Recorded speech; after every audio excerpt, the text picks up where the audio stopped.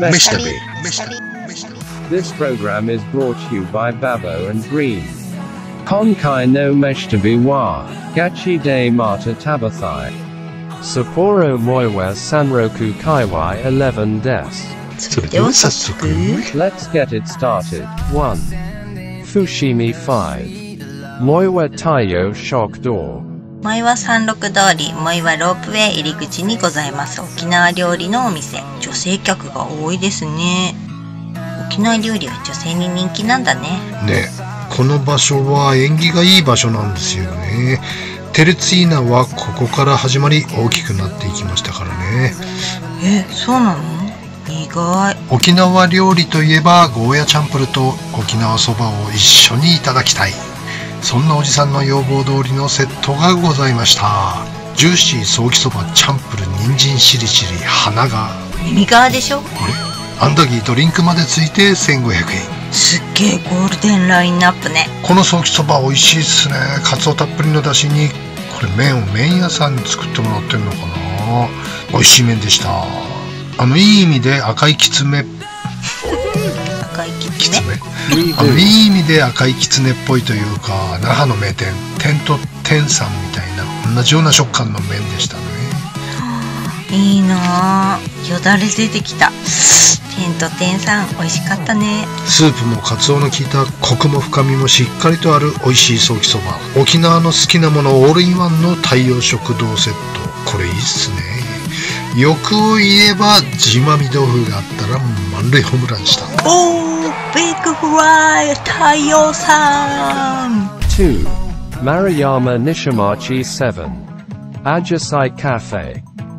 萌岩山麓通りの丸山西町よりクロックさんの真向かいにありますアジサイコーヒーさん平日でも駐車場はびっしりマダムやらカップルやら大盛況でございますこちらのパンケーキはソーストッピングをチョイスして自分好みにアレンジできるオーダーメイド式。ほほうそれは楽しいね。ドリンクセット注文だと無料アイスもついてくる。最近シュワシュワレア系パンケーキが多い中ミディアムレアなパンケーキ。へえそうなんだ。かなりレアめに見えてたんだけどもね。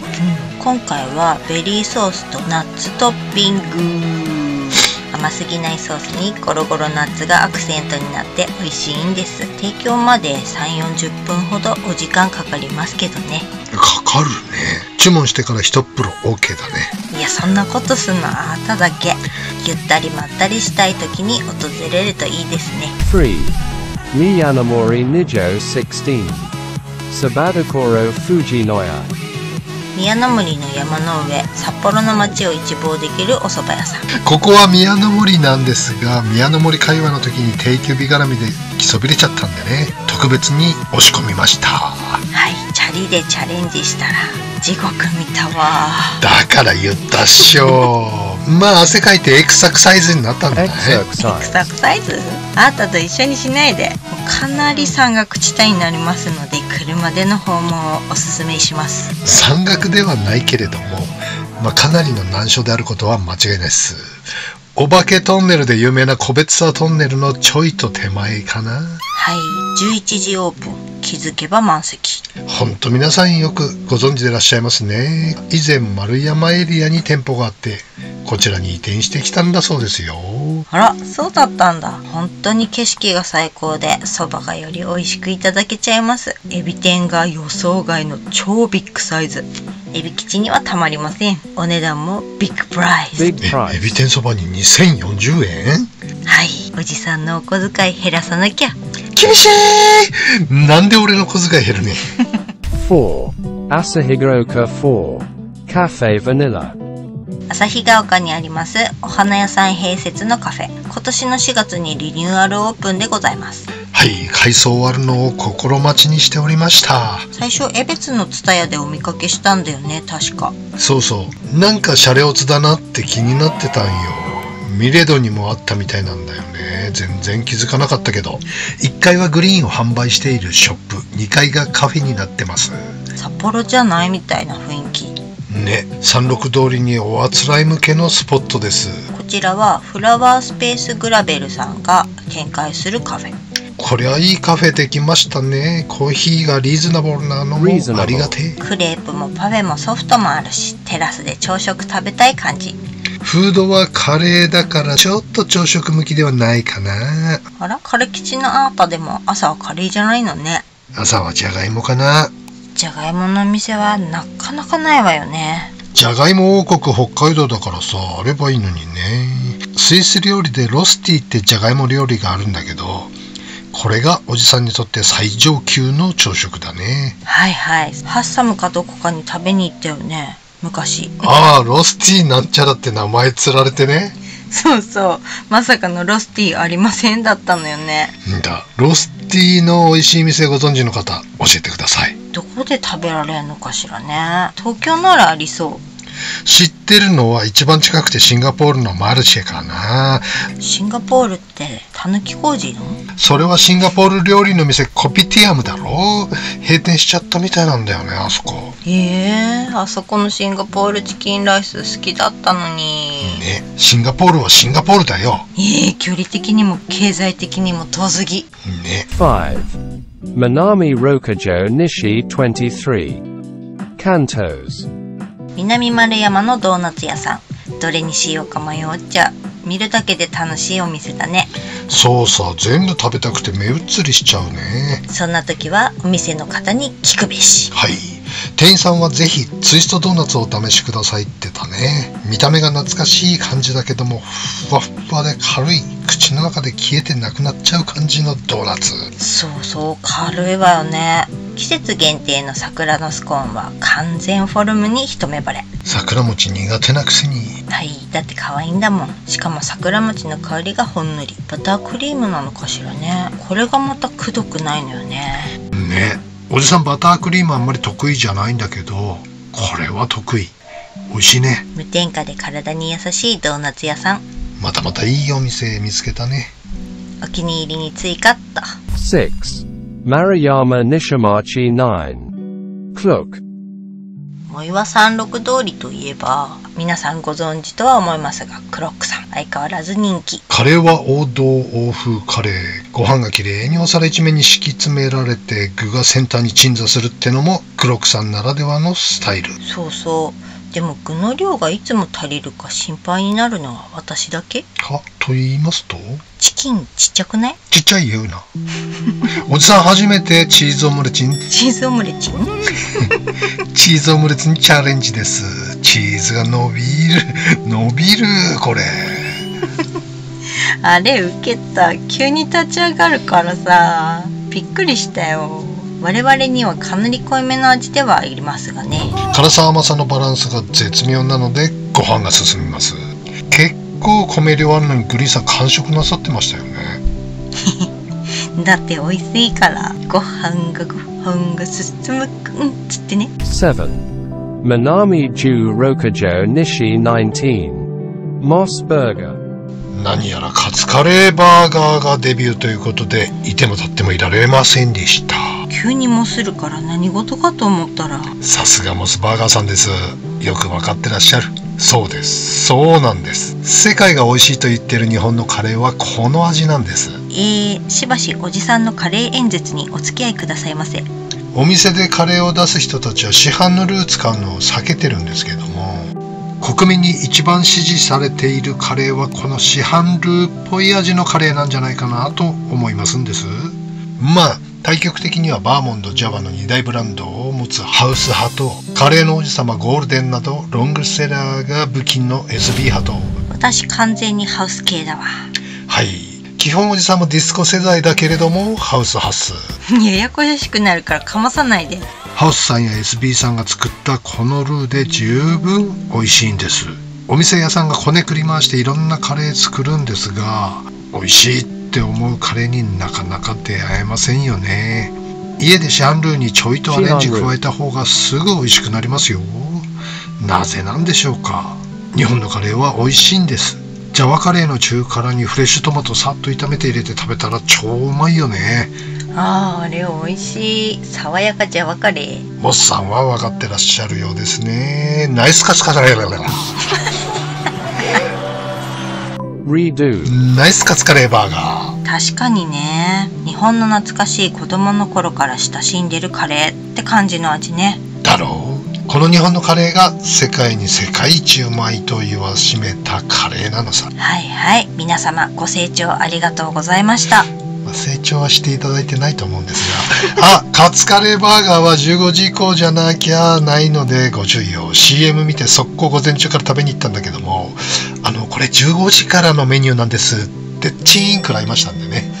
はいそのせいで映像が2日間に分かれておりますのやっぱモスさんさすがだね。ね美味しかったモスの商品開発部に拍手を送りたいですね。だからって一人スタンディングオベーションはやめて 8. Manami Jusanjo Nishi 23. Lumiel e Omburu. 藻岩山山麓の住宅街に佇むチョコレート専門店お店の外観は至ってシンプルなんだけど一歩中に入ると魔法の世界にいるみたい。ショーケースには何とも魅惑的なケーキたち。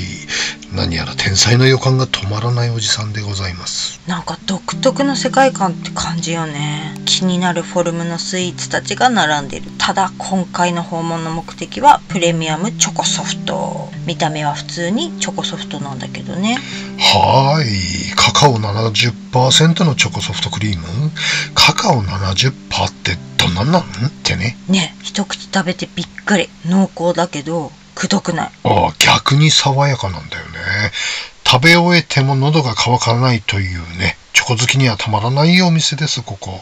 おじさんチョコ系アイスはあまり食べないんだけども、これは美味しい。そしておじさんがどうしてもナマコみたいの食べたいって言うてねはい、全く見たことがないナマコタイプだったんだよね。ナマコじゃねえっつうのでもほんと目を惹 かれる初めてのフォルムドタバタですな。でもほんと目を惹かれる初めてのフォルムこれ衝撃的美味しさでしたね。おじさんの天才予想、また的中じゃないですか？本当に美味しくてびっくりした他のお店のどのお菓子にも似てない音楽で言うたらレッチリとかクイーンとか？ああ、全くここでしか味わえないすんげえびっくりの美味しさだったね。これはサブちゃん細川隆クラスだね。これは全部いかなあかんでしょ。ね全種食べたいああの可愛いミニチュアみたいな詰め合わせああれかわいいね。絶対あれ食べたいあれも食べたい。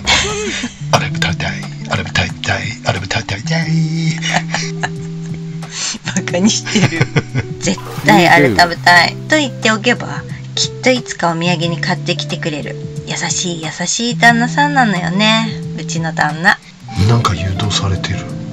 9. Fushimi 3. N43. 飯旅では何度かご紹介してますこのお店そろそろ北海道も心地よい季節となってまいりました。日本中から車旅を楽しむ方々が北海道に集結します。特に6月から10月。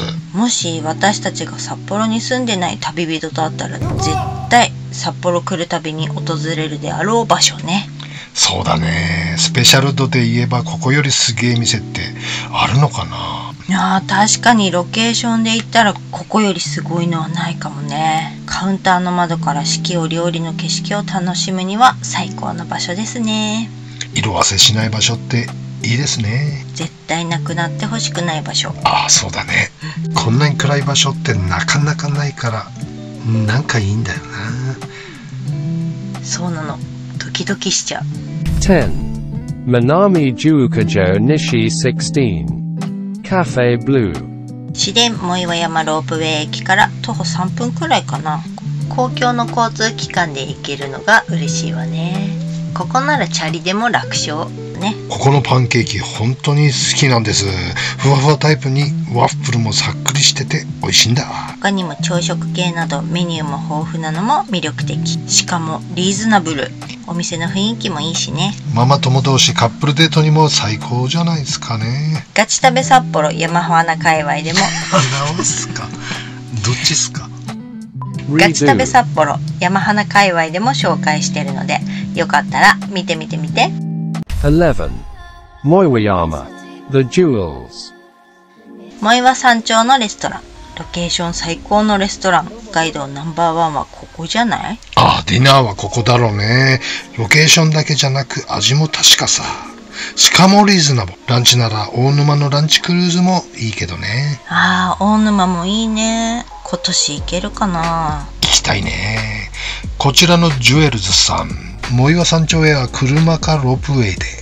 車で行くと鹿の親子と遭遇できちゃったり、クマちゃんとかけっこできたりしちゃいます。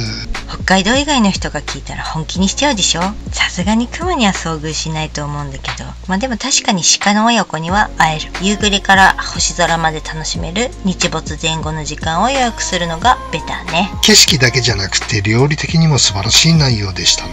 そうそう。目にも舌にも楽しい素晴らしいお料理たちがおもてなしおもてなししてくださいます。何かやらかした時にはここに妻を連れてきて許しを請うしかありませんね最大級の懺悔を可能にしてくれるレストランやらかす前提ってのどうなのそれ？ここのディナーで許してもらえない時は次のステップが必要になりますちょっと次のステップ気になるわね。もちろんやらかせってわけじゃないけど、どこ連れて行ってもらえるのかしら？それはやらかしてからのお楽しみやらかすんかいやらかしが楽しみなわけないでしょ。やらかすまだかすまだかすかる。はい。やらかすまだかすまだかすかる。言えた。ええ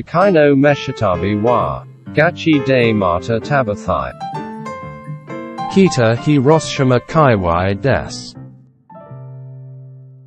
オタノシミニ See you soon. いやー今回のロケは過酷でしたね。グリーンにとって。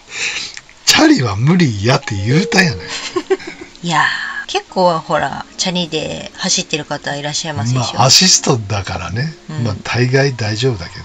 まあアシストじゃないのにけなし峠越えてくあの自転車の人たちはいっぱいいるわけで。そうでしょ。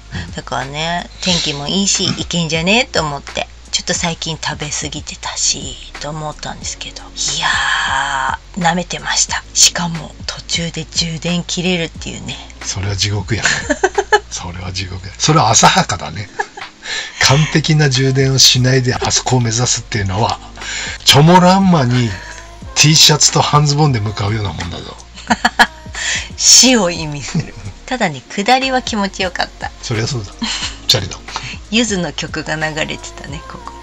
年齢的にユズがポッと頭に浮かんでこない悲しい今日この頃でございます。いやーでも気持ちよかったなチャリンコ。楽しいね。チャリいいよね。うん。どこでも止めれるし。T シャツと短パンで思い出したけどすすきのに伝説のマスターがいてさ。ほあのどこでも、うん。あの半ズボンと T シャツで現れる。それがねううん。まあ結婚式はい。これネタ的にまあ面白いっていうかねありだと思うんです 面白い。ちゃんとあのみんなでひそひそ喋ってたの。うん。やっぱり半ズボンと T シャツで来んのかな？っつって。本当に来たっつって。え本当にそのまんま？そのまんま。いつも通り。いつも通り普段通り。これが僕の。でね一番すごかったのがあのみんなで冬スキーニセコにスキーですよ。ほさすがに、うん。今日はねえだろ。うはい。したらなんか遠くの方で 目を疑うような光景が。嘘でしょ。吹雪の中から。嘘だよ。半ズボンと T シャツで滑ってくるんだ。これマジの伝え説だね。すごい。罰ゲームじゃないよね。